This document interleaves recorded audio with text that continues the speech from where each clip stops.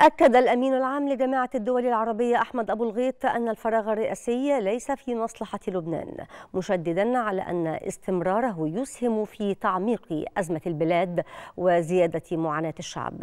وطالب أبو الغيط خلال لقائه بالمنسقة الخاصة للأمم المتحدة في لبنان جوانا رانيكا جميع القوى السياسية والقيادات اللبنانية بالعمل على إنهاء الشغور في أسرع وقت عبر انتخاب رئيس للجمهورية.